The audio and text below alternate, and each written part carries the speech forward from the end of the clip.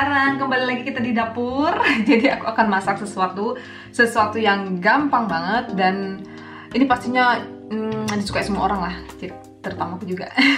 Jadi aku tuh suka jajan ini dulu, namanya cilok. Kalau kalian tahu itu khas Sunda sih. Jadi untuk panjangan Aci diapain gitu. aku bukan orang Sunda ya kan. Pokoknya ini dulu jajan yang aku suka waktu aku tinggal di Bandung jadi aku mau buat sendiri dan ini gampang banget resepnya. Jadi cuman satuin bahan-bahannya semua rebus dan buat bumbu kacangnya juga gampang banget. Tinggal campur saus-saus yang udah jadi. Oke okay, let's check it out. Nah ini bahan-bahannya udah aku siapin. Jadi ini aku tadi udah potong satu batang seledri. Terus ini 3 siung bawang putih, ini satu sendok makan bawang goreng, terus ini tepung tapiokanya, ini uh, eh, 200 gram, Terus ini tepung terigu biasa. Ini nanti aku pakai 3 sampai 4 sendok makan. Terus ini garam, ini micin kalau mau ya kan, pakai micin. Aku nanti pakai dikit aja. Terus untuk saus kacangnya itu cuman ada ini, ada peanut butter, peanut butter yang crunchy. Jadi masih ada tekstur-tekstur kacangnya. Ada kecap manis dan juga ada saus cabe.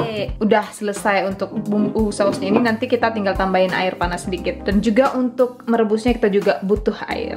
Oke sekarang kita mulai buat. Nah pertama-tama ini air udah aku rebus dulu. Jadi waktu mengadonnya nanti airnya ini udah mateng. Jadi kita tinggal masukin aja. Nah ini aku masukin tepungnya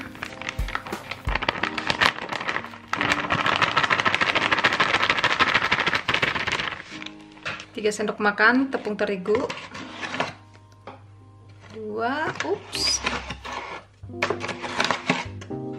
3 nah terus kita kasih si bumbu-bumbunya. Seledri, bawang putih, bawang goreng. Terus yang pastinya garam. Dan sedikit micin kita aduk dulu dia biar merata gitu. Terus kita kasih air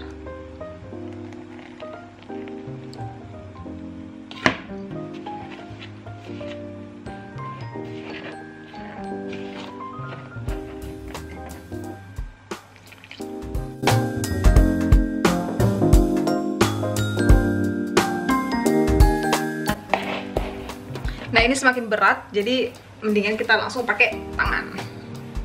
Aku cuci tangan dulu.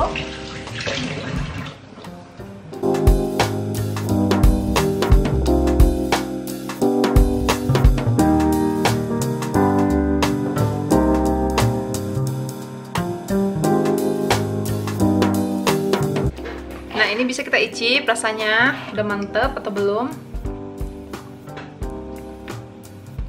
kurang garam sampai rata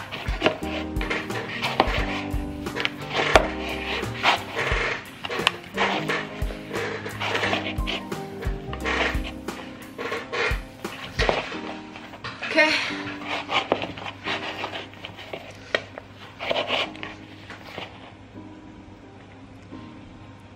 Hmm rasanya udah enak udah mantap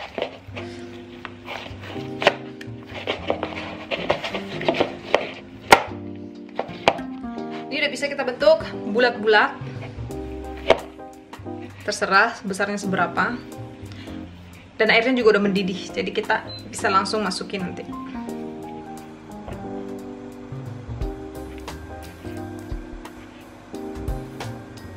Tandanya dia udah matang itu nanti dia bakalan naik ke atas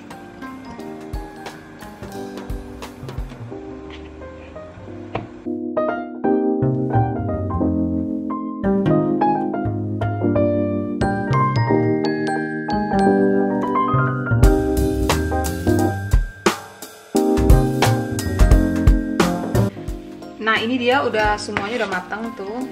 Udah naik ke atas. Yang artinya udah matang kita bisa matiin apinya. Terus kita siapin bumbu kacangnya.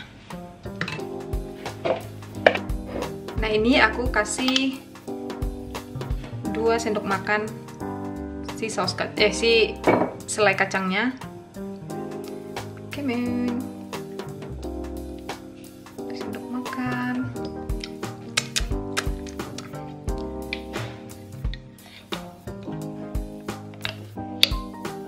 Kelihatannya masih ada kacang-kacangnya tuh.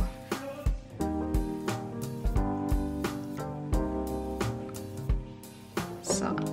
Hmm. Terus kita kasih kecap. Ini sesuai selera aja ya. Kalau suka manis banyak kecap, kalau suka pedas hmm, banyakin saus cabenya. Nih saus cabenya.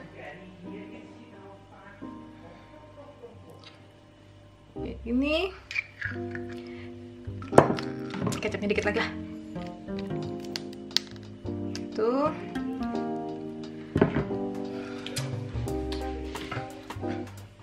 terus ini aku kasih air panas.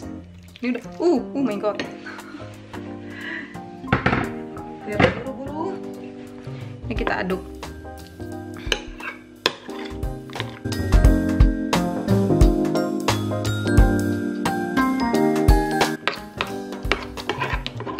Ini udah jadi nih.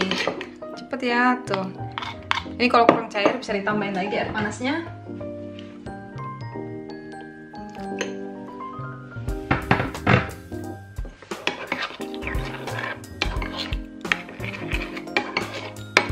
Hmm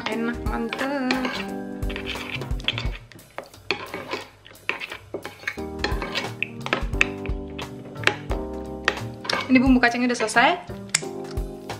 Sekarang kita tinggal angkat ciloknya nah karena aku sekalian mau makan ya kan mau snack-snack gitu aku akan sajikan buat diriku sendiri.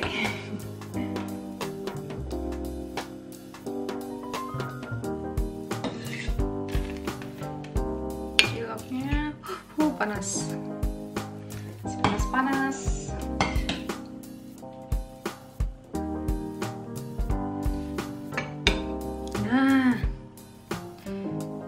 Setelah itu kita bisa masih panas enak, enak, enak, enak, enak. Kita kasih saus kacangnya.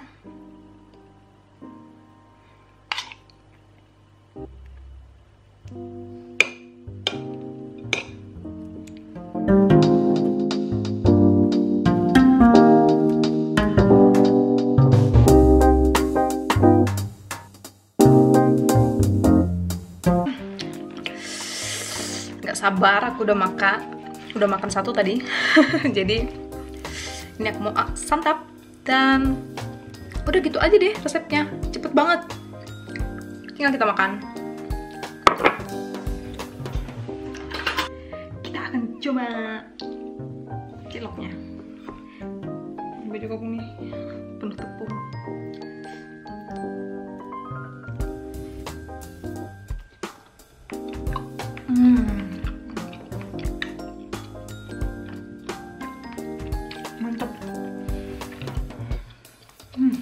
Dan dia tuh kenyal karena perbandingannya itu uh, tepung tapiokanya itu lebih banyak daripada tepung terigunya.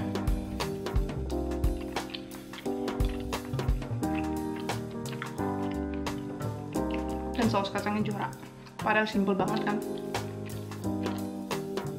Hmm. Oke kawan-kawan, thank you for watching. Sampai di sini dulu video aku. Sampai ketemu di video aku selanjutnya. Dadah.